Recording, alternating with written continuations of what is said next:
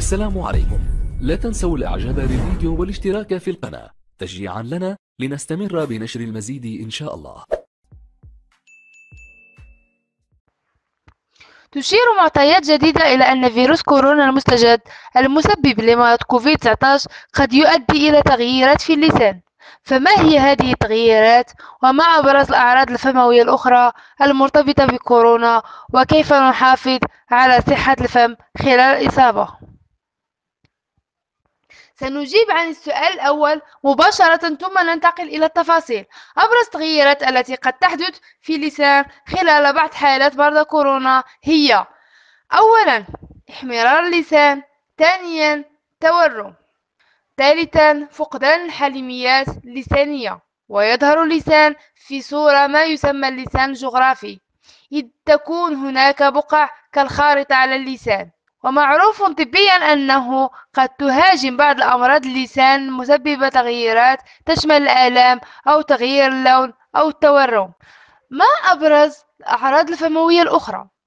وفقا لمراجعة بحثية في مجلة Dermatology Therapy التالي بعض الأعراض الفموية التي ترتبط بكوفيد 19 أولا عسر الذوق وهو أول عرض فموي معروف لمرض فيروس كورونا المستجد.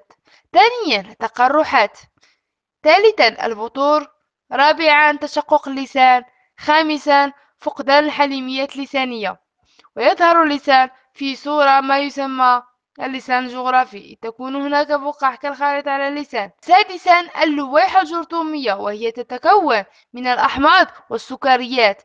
والسكريات وبقايا الطعام والبكتيريا واللعاب سابعا التصبغ ثامنا رائحة الفم الكريهة تاسعا مناطق بيضاء.